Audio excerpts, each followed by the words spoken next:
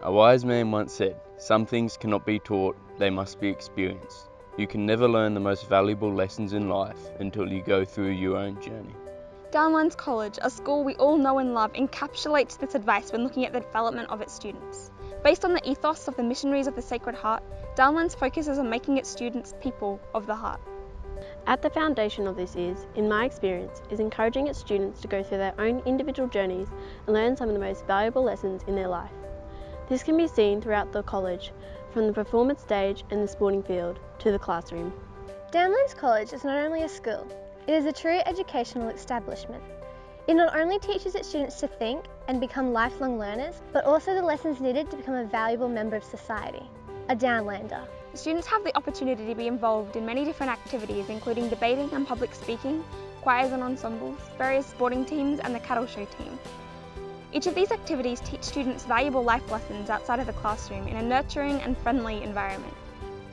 Here at Downlands, I've been honoured to be involved in many different cultural activities. However, there is one ensemble that I would particularly like to discuss. This is the Downlands Male Choir, or the Fortesmen.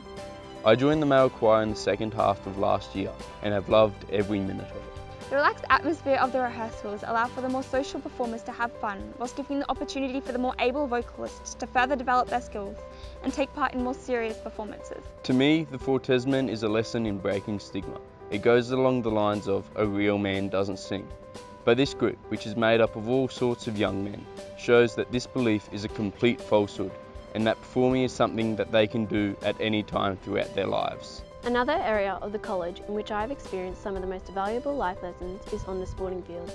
Downlands prides itself on offering all sorts of sports to suit any student's needs, and I have enjoyed playing both cricket and rugby throughout my time here.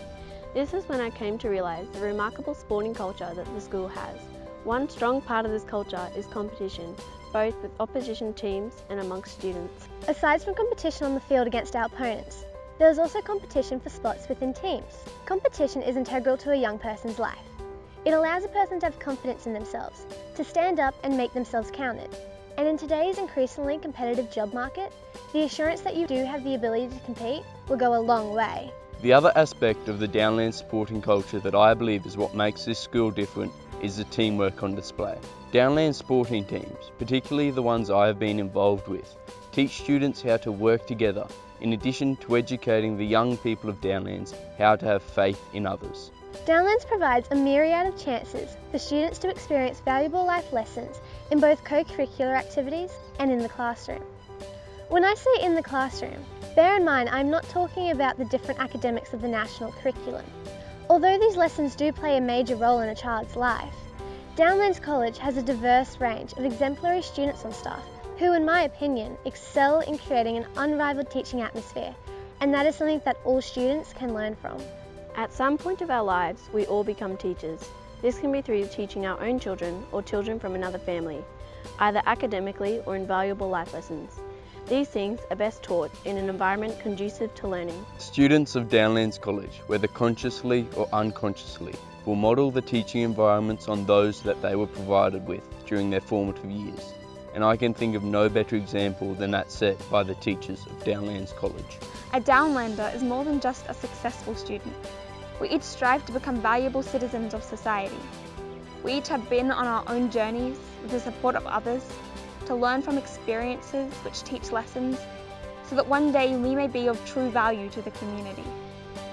And in the words of Albert Einstein, one of the most successful academics of all time, aim not to become a man of success, but rather aim to become a man of value.